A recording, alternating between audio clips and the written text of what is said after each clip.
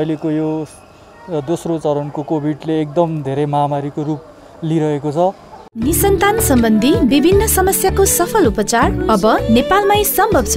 वात्सल्य natural IVF अहिले एकदम धेरै दिनानुदिन मानिसहरूको मृत्यु दर एकदम बढिरहेको छ दोस्रो चरणको कोभिडको कारणले। त्यही भएर सबजना हाम्रो जति पनि जनताहरू हुनुहुन्छ देशको सबजना आफ्नो घरमा बसेर लकडाउनको पालना सही तरिकाले पालना गर्नुहुनेछ भन्ने मैले आशा गरेको छु।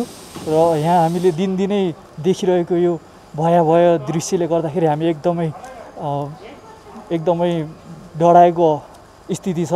दिनदिनै यहाँ मानिसहरूको लासहरू देखिरहेका छौँ हामीहरूले। त्यही हो सबजनाले आफ्नो स्वास्थ्यको ख्याल गर्नु होला र लकडाउनको पूर्ण तरिकाले पालना गर्नु होला हर्बल क्यान्डी आयो इमली हल्दी।